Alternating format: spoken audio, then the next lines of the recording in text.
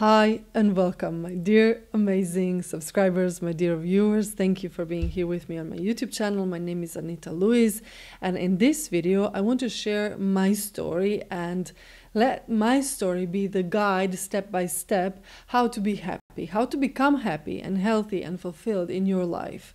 Because I've been there now I'm 43, but my first 30 years was really a dark age of my life. I was uh, living in a victim mode. I had a tough childhood, and since then on, everything was going, let's say, wrong. I did everything right, but everything turned out wrong. So I was disappointed, I was uh, sad not satisfied, feeling unhappy, and then I was also sick. So, how to change? First step that you need to do, and first step that I did is I decided that I'm really sick and tired of this all. I don't want to be unhappy anymore. So, you have to say that you want to be happy, you want to be fulfilled, and you want the power in your hands. So, regardless of the outside circumstances, you want the responsibility for your life and you want to be happy. So when you make the decision, then you're actually committing to yourself because happiness is an inside job. A lot of outside circumstances are not going to change instantaneously, and some relationships are going to end, but better is coming and better is waiting for you. When you decide that you are not a victim, you are a creator of your life. So, again, I'm repeating regardless of the outside circumstances, you are doing the inside job, training yourself to be satisfied, fulfilled, selfish in a positive sense, that you love yourself, that you are committed to yourself that you have time for yourself no matter what, even like 10 minutes a day for yourself. I literally, when my kid was, um, he was a baby, and I worked all day long, um, and I spent time with him as much as I could, there was no time for me. But I woke up in the middle of the night to do a meditation. Then I fell asleep. But just because of my intention, I set an intention for myself that I have time for myself, time uh, like miraculously came. So at the end, I remember he was going uh, to a training. He was doing gymnastics when he was just three, four years old. And in that time, I was sitting in a car waiting for him and I was meditating. I was reading, I was doing the personal development and I was enjoying my free time, time for me. And I remember the moment I said that I am going to listen to myself and dedicate my time for myself, that I'm going to care how I feel, so you have to care how you feel, that I'm going to love myself and meditate and so on. My husband said like, "Why are you so selfish?" Why are you detaching? Why are you taking time for yourself?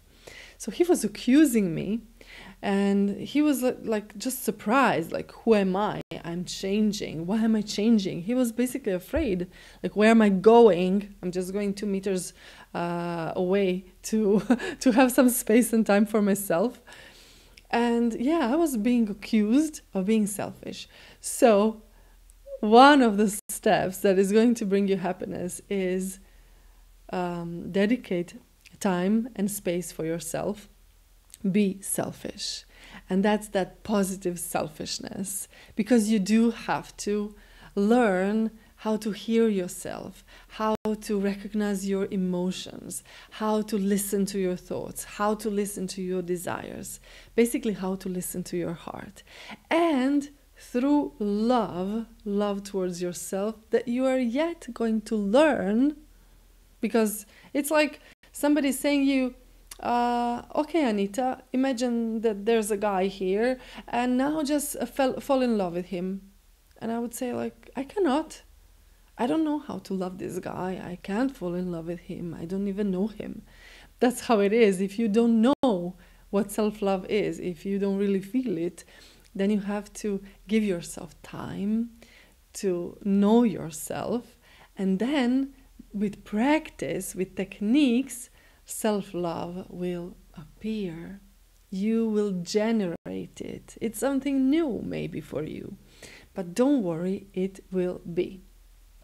So, how to practice self love? Because it is a necessary step to be healthy and he- healthy and happy in your life. healthy and happy in your life. Well, uh, you can do simple things like just pay attention how you feel, care how you feel, do things that make you feel better, do things that you didn't do before uh, in a sense of meditation, books and videos about personal development, education, support.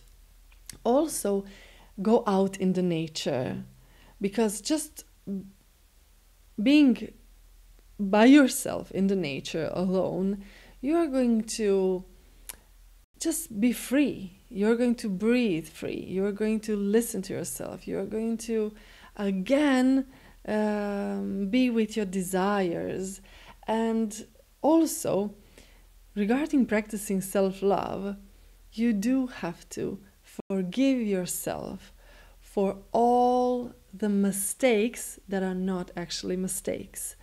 Because whatever you did, you did the best you could at the at the given time, with the given energy, with uh, the state of consciousness that you had in your past. So, whatever you did and however you did, if you have failure, for example, hug yourself, forgive yourself, love yourself. It's just one experience in your life through which you are growing and becoming better, stronger, wiser person.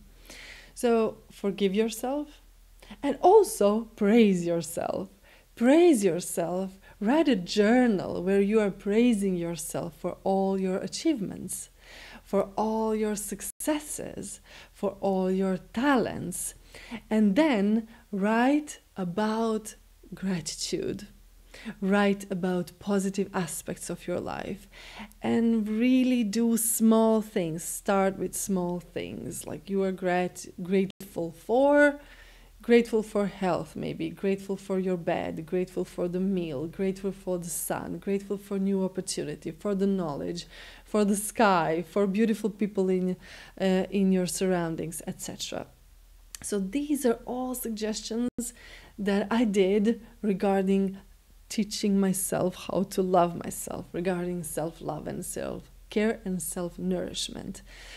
And with that allow yourself time for you.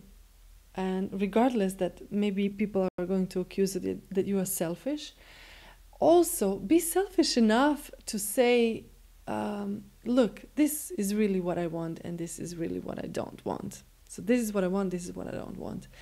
Uh, some relationship are really going to disappear from your life. It is going to happen. And better people better relationship are going to come or relationship that you already have with some people they are going to be purified and they are going to become even better. So if you want to be happy remember first say no to victim patterns surroundings these these these stuff are guilty that i'm not happy they are making me unhappy. Stop it and say okay it's my duty it's my call it's my power it's my time and it's my uh, inner job. And then start with everything I said and I, I was explaining so many things in in details uh, in on my channel uh, in the rest of my videos. So if you like this video give it a thumb up and subscribe to my YouTube channel hit the notification bell also you can share it. And stay tuned because I am going to guide you step by step further into details about self love and self care and happiness. All this at the end is going to bring you success that you want. Because when you are happy, when you are in touch with yourself, and when you know what self love is, then you can have courage. Then you make different decisions. Then you see positive aspects because you trained yourself into positive aspects. So basically you are reacting differently to challenges. Challenges are no longer problems. They are blessings. And no matter how negative and uncomfortable situations get you still will see the blessing in the situation because you are going to already be high vibrational and high consciousness. You will know your power. And that at the end will make you stronger, more powerful, more beautiful, and fulfilled, satisfied person.